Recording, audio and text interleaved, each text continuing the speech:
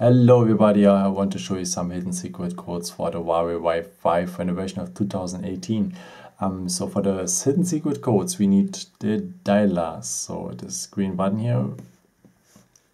Then uh, maybe let's start with uh, about phone. So it's star hash star hash zero zero zero zero hash star hash star.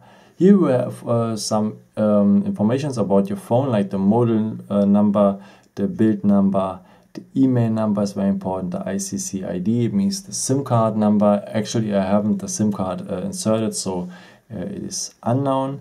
Um, yeah, some information about your phone. Let's go to the next point is the project menu. So it's star hash star hash two eight four six five seven nine hash star hash star.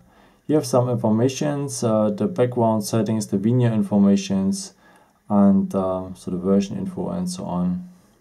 Then the manufacturer info, so some informations for Huawei.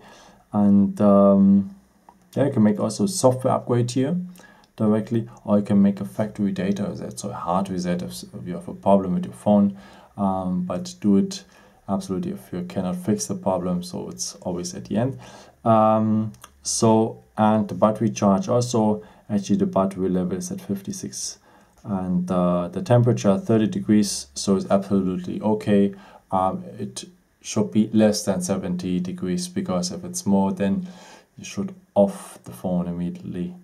Um, okay let's go back and let's have a look at the testing. So star hash star hash 6130 hash star hash star and we have some phone informations here. First of all, you can choose the SIM card.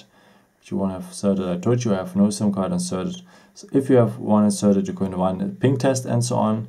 Um, then you have some usage statistics. So this uh, tool is nice because you can see all the apps you have used already um, on the phone. You see uh, when you have used it and how long you have used it. And um, all the apps were written that it's from 1970. Uh, it doesn't mean that your phone is too old or something like this. It just means that you have never used that uh, app before or that program before. Okay, the Wi-Fi information. You can also here run a ping test with the Wi-Fi. Actually, I'm not on Wi-Fi. I think, yeah, I'm not on Wi-Fi. Um, yeah. Check out your phone a bit. Um, yeah. Hope I could help you with this video and show you something nice, uh, something new. And uh, yeah, it would be a pleasure if you can leave me maybe a comment, a nice one, uh, or some. It's always helpful for my videos. thank you so, so much for. And yeah, maybe until next time. Ciao.